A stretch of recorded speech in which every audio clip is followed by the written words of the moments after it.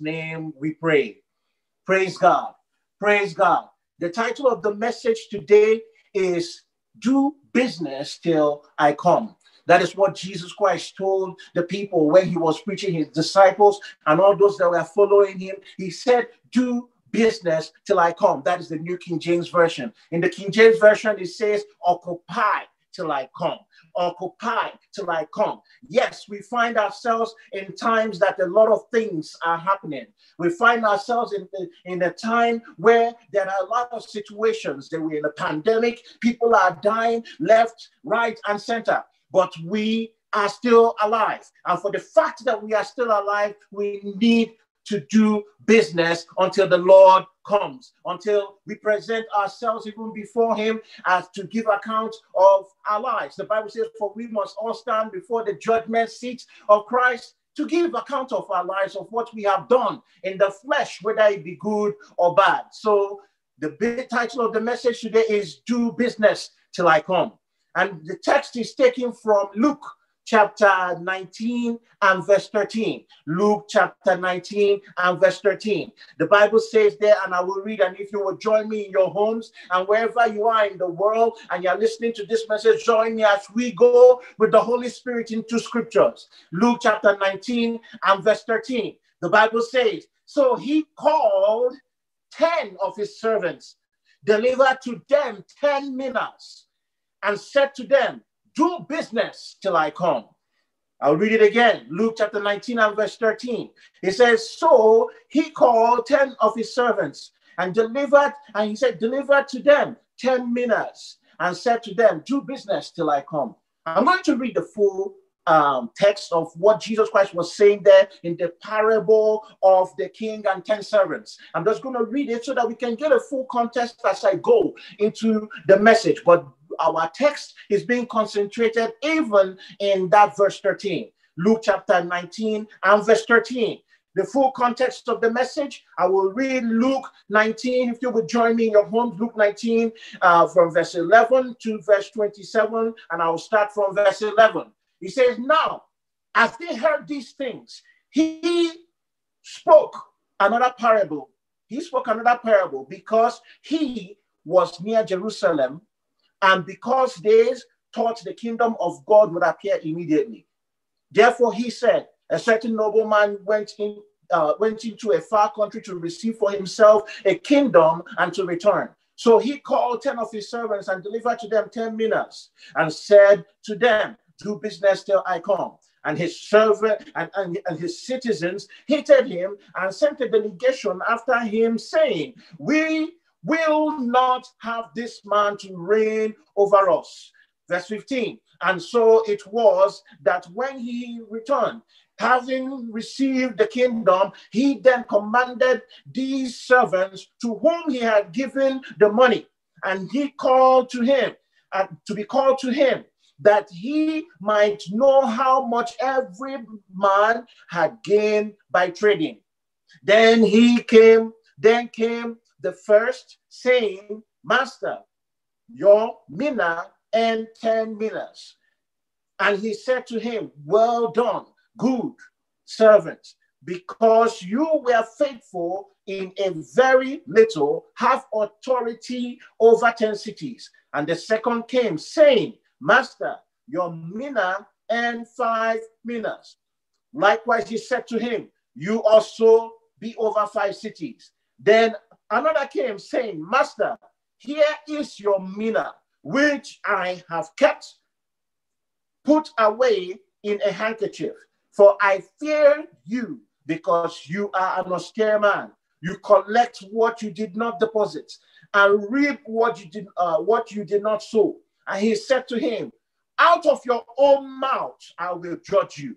You wicked servant, you knew that I was an austere man collecting what I did not deposit and reaping what I did not sow.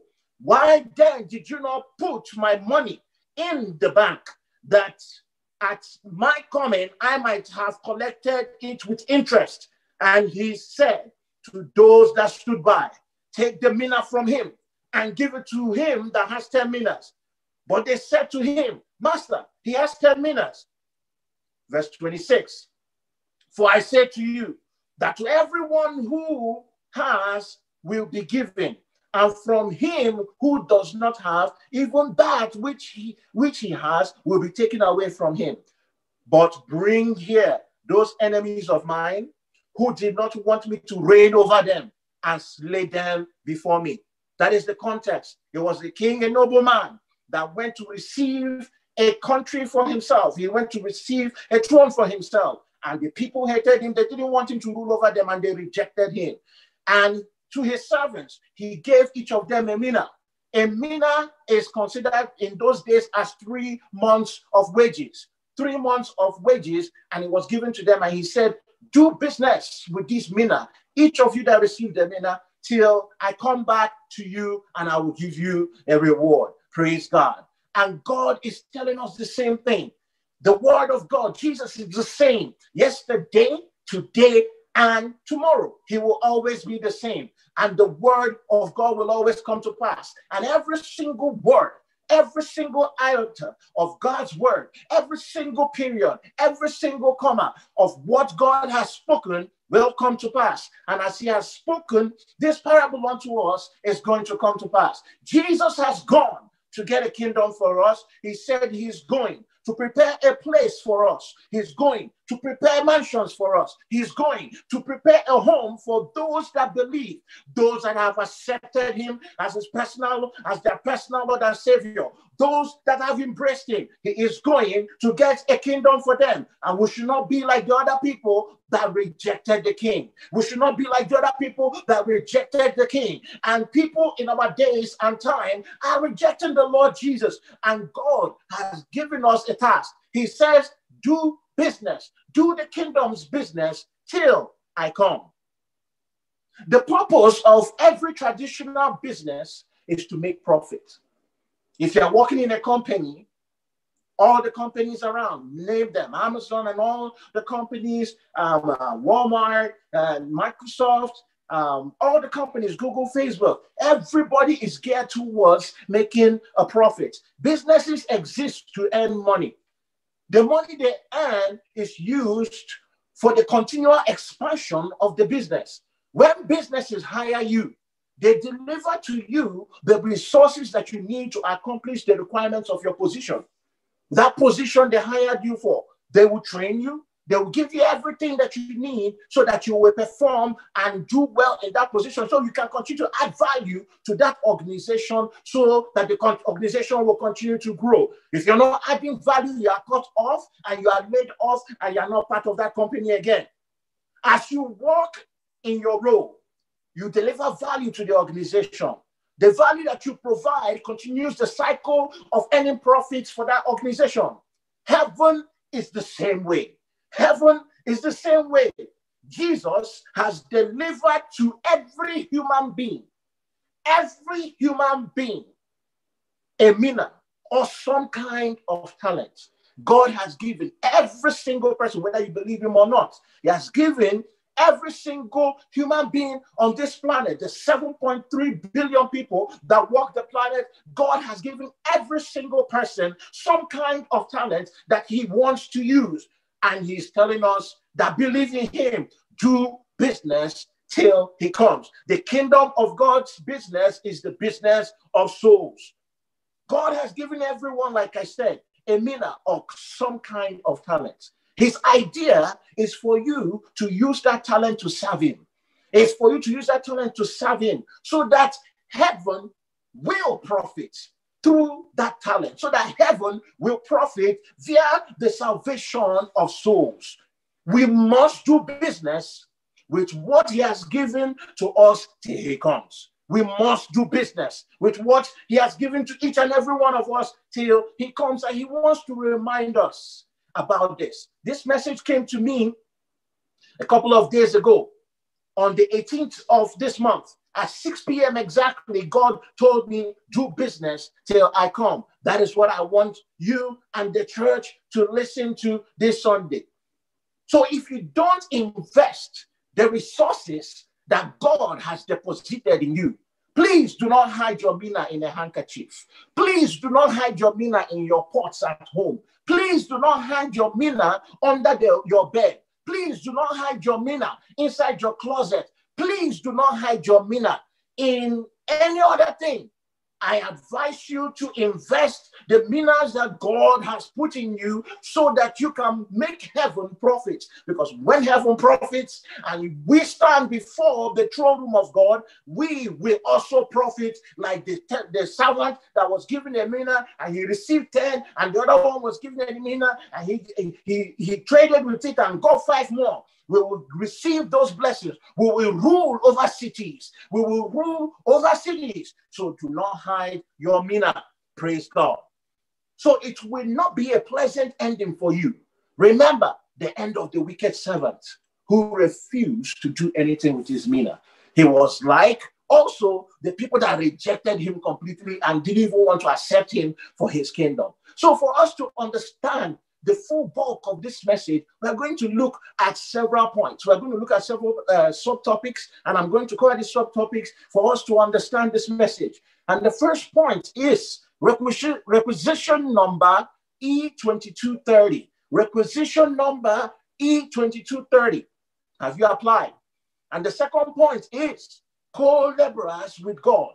And the third point is the work is time bound. The fourth point is how to do business till he comes. How to do business till he comes. First point, requisition number E2230. I know a lot of people will be asking me, what in the world is he talking about? Requisition number E2230. Ezekiel chapter 22 and verse 30. If you turn your Bible, please. Ezekiel chapter 22 and verse 30. The Bible says, this is God.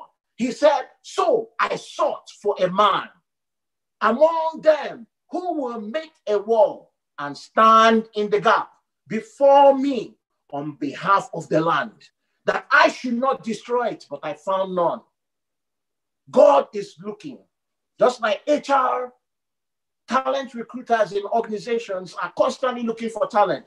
God is looking for wall builders to stand in the gap for Him to, he's looking for gap standards. He's looking for people to serve him in the kingdom of God. So a job requisition is a formal request to fill a, an open position at a company with a backup documentation. So it typically includes the job title, department, field date, and the job description. So God is looking for you to fill the role of standing the gap for him here on earth. He's looking for you, not another person. Do not shift the message. He's looking for the other person. God is looking for you for because you have a unique quality about you. God is not a rank Xerox machine. He produces all of us uniquely with our different sets of abilities and talents and capabilities and capacities to be able to do His will. So God is looking for you to be a gap standard, a, a bracket standard in your own area to brighten the corner where you are. He is looking for people to serve him in his vineyard with the resources that he provides, the resources that he has deposited in you. Have you answered the call of that requisition? Requisition number E2230 it's just Ezekiel chapter 22 and verse 30. No big deal on that. Praise God. So, have you answered the call of that requisition? Let us look at um, how God and how Jesus is persistent, even with this message that the Holy Spirit is presenting to you today. With this message, He is persistent in looking for people to work for Him. Matthew chapter 20 from verse 1 to 7 quickly. Matthew 20 from verse 1 to 7. Jesus tells the parable of the vineyard workers. Jesus tells the parable of the vineyard workers. Matthew chapter 21 to 7. He says, For the kingdom of heaven is like a landowner who went out early in the morning to hire laborers for his vineyard. Now, when he had agreed with the laborers for a denarius a day, he sent them into his vineyard and he went out about the third hour and saw others standing idle in the marketplace. And he said to them, You also go in the vineyard, and whatever is right, I will give you. So they went. And he went out the sixth and also the ninth hour and did likewise. And about the eleventh hour, he went out and found others standing idle and said to them, Why have you been standing here idle all day? And they said to him, Because no one hired us. He said to them, You also go in the vineyard, and whatever is right, you will receive.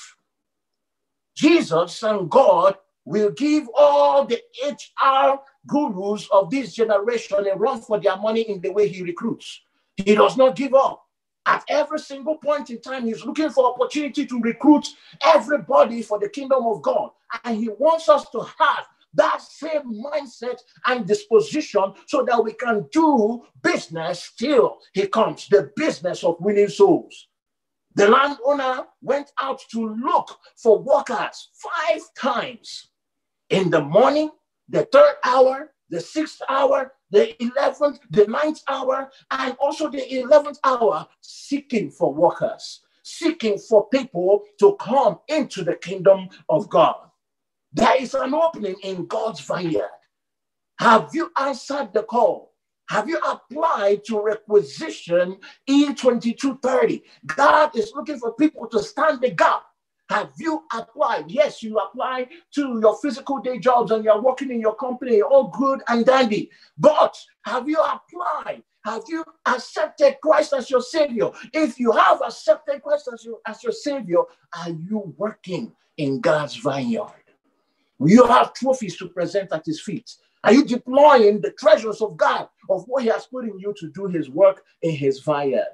Praise God. Second point, the second point of the message, the first point we looked at is requisition number E2230.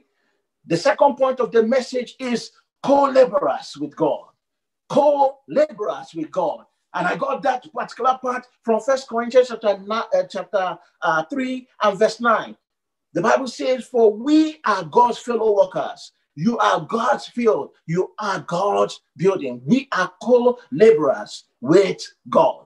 So, the good thing about doing God's business and working for Him is that He works right alongside you. He does not throw you out there to, uh, by yourself. He walks right alongside you, showing you the ropes of the job, showing you the ropes of what He wants you to do for the kingdom of God. He understands your job description. Your job description, the, the peculiarities based on your purpose and how God has created, created you as a human being and implanted certain capacities and capabilities in you. He understands your job description as a human being. And he is right alongside you, training you. And God, Jesus, will give all the training and talent development people on earth a run for their money because he does not abandon you. He doesn't throw you into the waters and say, sink or swim. So, what are some of the things that we need to know about becoming co laborers with God? I'm going to cover a couple of points on that this. We're looking at us being co laborers with God. The first point I will cover under the second point is I must be about my father's business. I must be about my father's business. Jesus said in Luke chapter 2 and verse 49, and he said to them, Why do you seek me? Did you not know that I must be about my father's business? He understood the business of God. He understood the business of soul. He understood the business of heaven. The kingdom of God is at hand. Repent and believe in the gospel. He knew the kingdom business. And he wants us to have that knowledge. I must be about my father's business. Second point is my father works, so I work. I'm looking at certain points that we need to understand that be about being co-laborers with God. My father works, so I work. My father works, so I work. John chapter 5 and verse 17. But Jesus said, uh, Jesus answered them, my father has been working until now, and I have been working. So God in heaven is working, and Jesus, who is also God, is working. So, first, he understood the father's business, and he works because the father works. We are working with a co laborer that is not a lazy person. Third point, under the second point, we are co-laborers with God, just like I've mentioned. For we, First Corinthians 3 9, for we are God's fellow workers. I'm reminding you that again. You are God's field, you are his building. We are fellow workers with God. And he understands the business and he knows the business and he is working alongside us. The fourth point to know about working as a co-laborer with God is that God provides the resources. God provides, He doesn't throw you in there without any resources. Just like when you're hiding your role in your organization, if the organization is a good organization, they will train you, they will give you all the facilities and the capacities and things that you need to be able to carry out your role. So God provides, He's even greater. He provides the resources that you need to do your work. Genesis chapter 22 and verse 7 and 8. Genesis 22, 7, 22, 7 and 8. The Bible says, But Isaac spoke to Abraham, his father, and said, He said, My father. And he said, Here I am, my son. Then he said, Look, the fire and the wood, but where is the lamb for the burnt offering? And Abraham said, I'm sure Abraham must have said in his mind, Man, this, my son Isaac, is really a sharp kid. So he said, and Abraham said to him, My son, God will provide for himself a lamb for a burnt offering. So the two of them went together and they kept on going. So God provided at the end of the day, at the end of the story, God provided everything that he needed for that particular sacrifice as he tested the faith of Abraham. So God also in our days and time, God is the master. He will provide the resources that we need to do his business here on earth. God is the one that provides all the resources. What are the resources that God gives us today? God gives us a ton of resources for us to be able to get to know the job description of what we are supposed to do and to carry it out successfully here on earth so that we can receive a reward when we're time to give account of our lives. And some of those resources are, are the word of God. He gives us the word of God. He has given us the Holy Spirit. He has given us the opportunity to fellowship with the brethren. He has given us grace, the grace of communion. He has given us prayer. He has given us finances and resources that He supports us even in our daily needs, in all the things that we do. So these are some of the resources that God, there are so many numerous resources that God gives. And the thing we need to understand is that God supports his workers, his co-laborers. And the last point that we'll see in this second point is that God is ever present. Just like I said, He is constantly beside, behind, beside us, working alongside us. Matthew chapter 28 and verse 20. The Bible says, teaching them to observe all things that I have commanded you, and lo, I am with you always, even to the end of the age. He is with us he will be with us. He will never leave us. And He will continue to supply every single thing that we need to be His co laborers so that we can execute our purpose and our job descriptions as soul winners based on our purposes and the reasons of our existence here on earth. So the things that we covered in this second point is we must understand the job. I must be about my father's business. Uh, second point on the, the second point is that my father works, so I work. We are co-laborers with God. God provides the resources that we need, and He is ever present. Praise God. And, and the third point of the message is that the work is time bound. Just like when you have projects here on earth, they don't a project is doesn't have an infinite uh, amount of time that you are working on it. There's always a beginning and there's always an end to projects. And God's project on earth is us. He is working with us as his co-laborers, and there is a finite time for us to be able to carry out this work. So doing business for the Lord is not on an infinity clock. It is time bound. And we can see this in John. I'll read some scriptures and we will move to the last point. So I'm just letting you know the reasons why we need to take this work urgently because we are on a time limit. John chapter 9 and verse 4. John chapter 9 and verse 4. The Bible says, I must walk the works of him who sent me while it is day. The night is coming when no man can walk. The night is coming. The light, the daytime is when we are alive. The nighttime is when we are no longer here. So we have a, a, a we have a rope and a, a certain amount of rope of an opportunity to be able to do God's work. John chapter 5 and verse 17.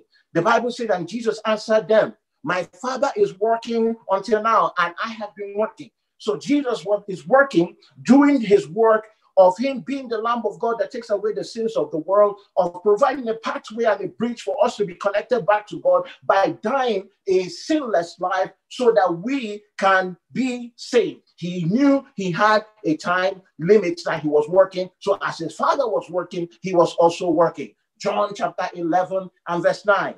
Jesus answered, Are there not 12 hours in the day? If anyone walks in the day, he does not stumble because he sees the light of this world. You have light now. Your eyes are open, it sees the light. And you are alive. For the fact that your eyes open up, you are alive. You will not stumble when you are doing the work of God while you are alive. The time of opportunity is now. John chapter 12 and verse 35.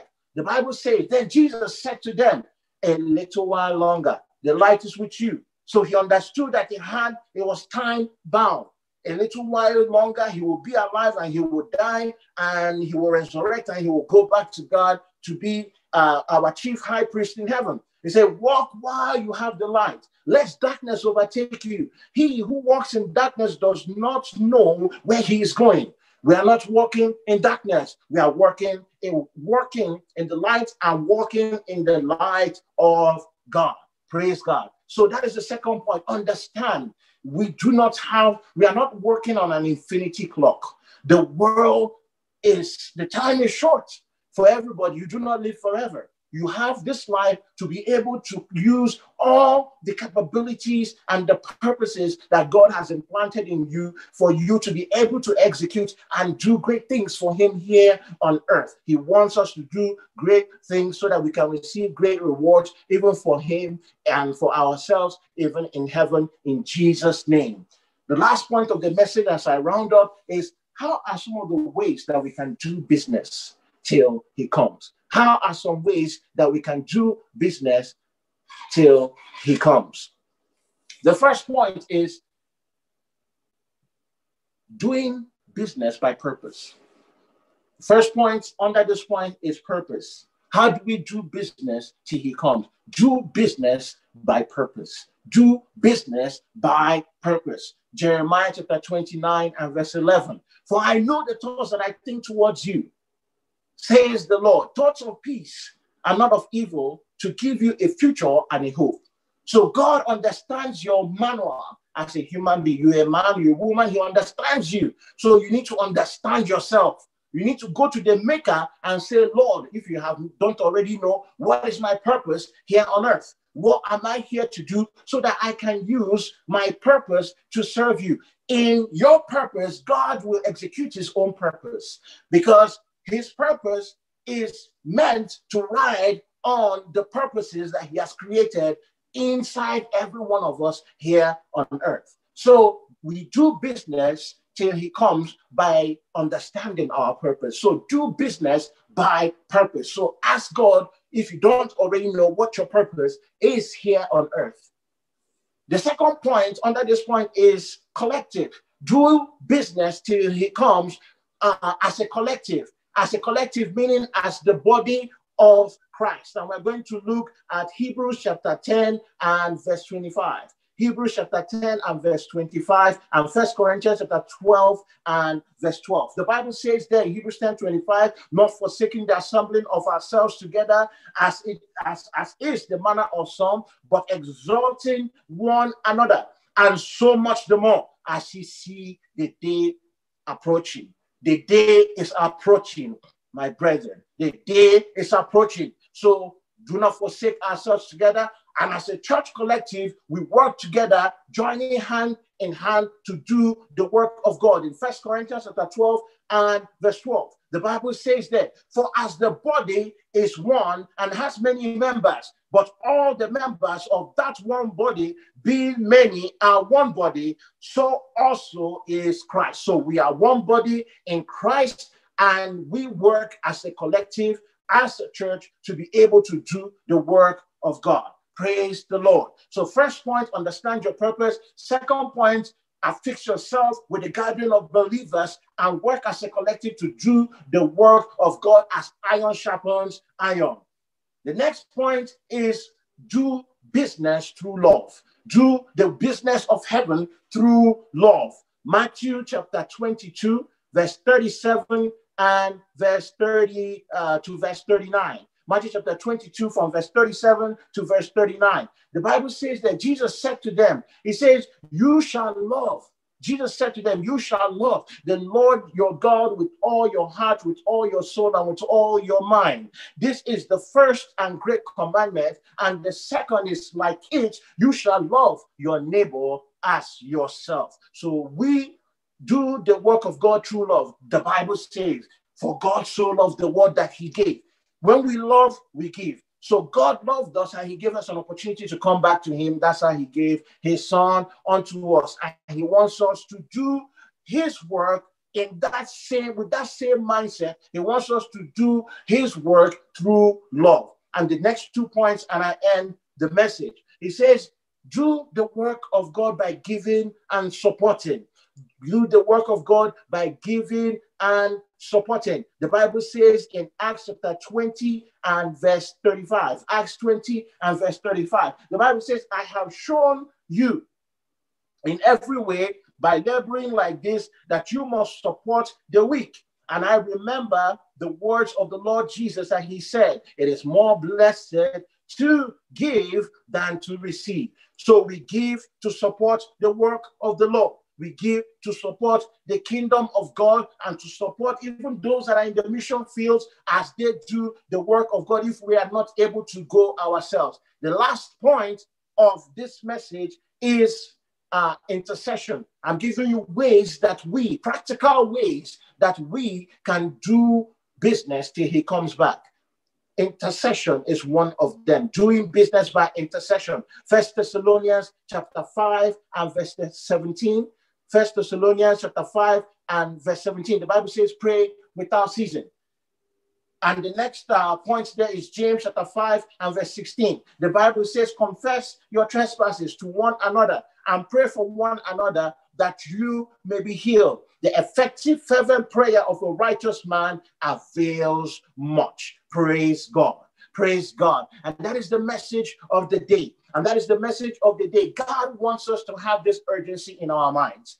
He wants us to have an urgency of us using the capacities and the things and the purposes that He has implanted in us to do His will. He wants us first to accept that requisition because He's a, looking for gap standards. Requisition number E 2230, which is Ezekiel 22, verse 30. So I saw for a man, God is looking for you. He's not looking for you. Don't say he's looking for my neighbor. God is looking for you. He wants you to be a co-laborer with him. And we saw all the points that we that the, what it takes to be a co-laborer with God. And he also wants you to know that it is time bound. We are not working on an infinity clock, and he has shown us the different ways there might be other ways, but he has shown us some of the ways that we can use to do business till he comes. Let us bow our heads in prayer. Father, we thank you very much for today. We bless your name. We worship you. We give you thanks. We thank you very much for giving us this message. And we pray that you will plant in our hearts that urgency to do your will here on earth. Father, Lord, we accept that requisition and we accept your call. Father, Lord, we you have sought for a man to stand in the gap to make up that wall. Father, Lord, we are saying, Here are we, send us. Lord, we want to be co-laborers with you. And we want to work because you are working. You are not a lazy God. And we will not be lazy in doing kingdom business. Father, Lord, we pray for your strength. Lord, we are praying because we know that the work is time bound. And we only have a finite time here on earth before we stand to give account of our lives. Father, Lord, help us in whatever methodology that you have chosen for us to even move to do your business of winning souls before you come. Father, Lord, we pray that you give us this the strength and the power, Holy Spirit, and empower us so that we'll be able to do your work, will and your work here on earth. Father, we say thank you because we know you've heard our prayers. Be thou exalted and be thou glorified. In Jesus' name we pray. Brethren, have a good week ahead of you in Jesus' name. And may God strengthen you and empower you to do his work in Jesus' name.